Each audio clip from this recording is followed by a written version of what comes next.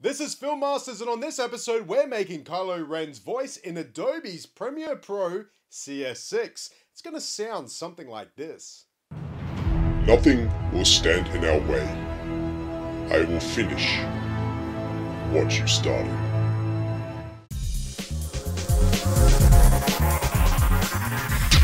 This is Film Masters, and on this episode, we're making Kylo Ren's voice in Adobe's Premiere Pro CS6.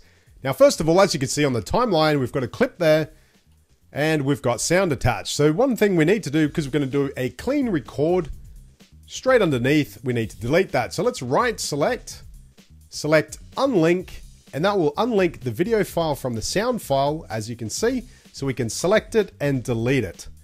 Excellent. So now all we need to do is do a voice recording of Kylo Ren straight underneath. So do that, all we have to do is go up to audio, make sure that audio one line is selected, select the enable track record for audio one, select the record button, and then all we have to do is do a Kylo Ren voice. So one thing you need to do is try to make it sound very similar to Adam Driver when we're making our Kylo Ren voice, so therefore it makes our job a little bit easier. So I'm going to uh, press record and do that now. Nothing will stand in our way. I will finish what you started. Excellent. So if I play that back, it should sound like this. Nothing will stand in our way. I will finish what you started. Perfect. So there's my sound recording. Let's go back to the beginning. Let's go up to the effects controls and we're going to go down to the effects window and open up audio effects. And in this area here, we're going to be grabbing some of the effects and applying them onto our audio file. So I'm going to put them all onto the audio file first of all, and then we're going to go in there and start making the changes. So first of all, let's select bass and drop that on. Now, as you can see, it's appeared in our effects controls. And the next thing I want to add is EQ. Then I'm going to go and I'm going to find pitch shifter and drop that onto the audio file. And then I'm going to add reverb. So now that I've done that, the next thing I want to do is just bring this down so I can see all the controls. I'm going to hide all the features on the presets that we've added. And we're going to select bass, but before we do, let's press the space bar and see what it sounds like so far. Nothing will stand in our way. I will finish what you started. Now, as you can hear, it sounds very echoey, so we're going to make some adjustments to the features so we can get that Kylo Ren voice going. So, first of all, let's go to bass and drop down boost. And in boost, I'm going to change it so it goes up to 8 decibels. Now the next thing we're going to do is we're going to miss equalizer for the time being. We're going to use equalizer last because there's a few things we're going to tweak to get that right sound. So the next thing we're going to do is go into pitch shifter and go to individual parameters. And for pitch, we're going to make pitch negative three. So let's bring it to negative three semitone. And then we're going to scroll down a bit and we're going to open up the uh, formant and we're going to turn that off by sliding it all the way to the far left. Once we've done pitch shifter, let's move into reverb and under individual parameters, we're going to go to size.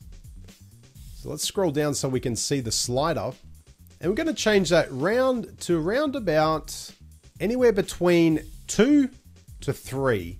I've got 2.49%. I'm happy with that. And we're going to hide that.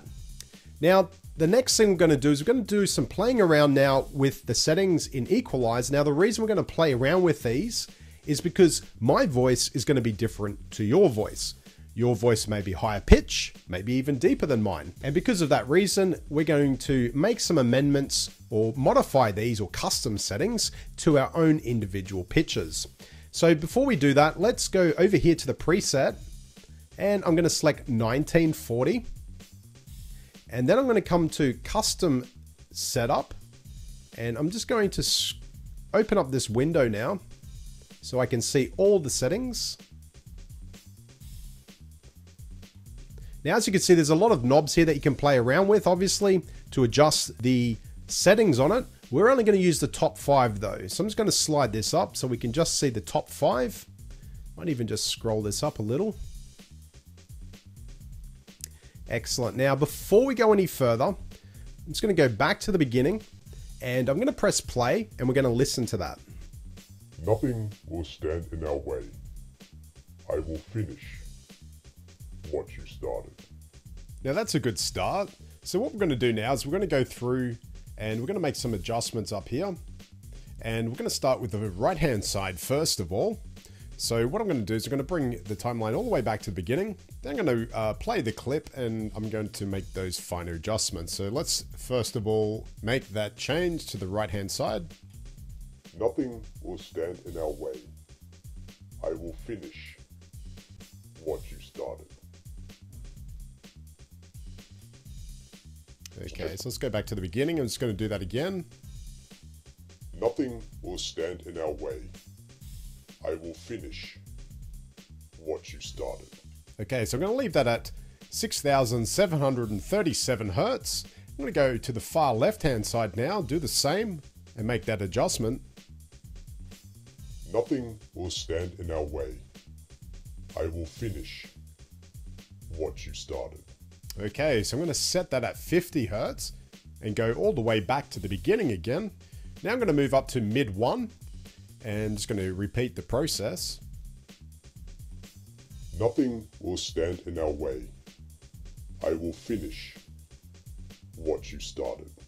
Okay, I'm going to leave the uh, frequency as 152 hertz. And we'll go back to the beginning again and now move to mid 2. Nothing will stand in our way.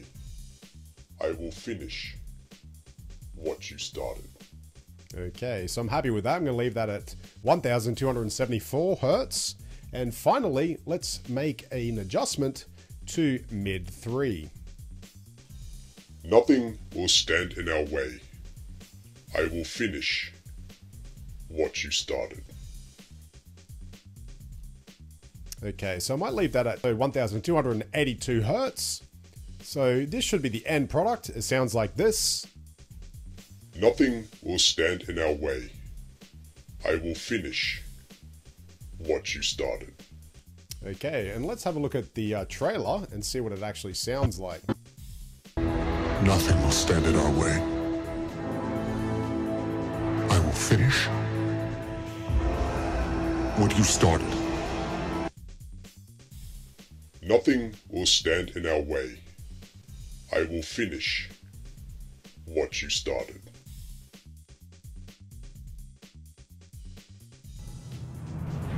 Nothing will stand in our way.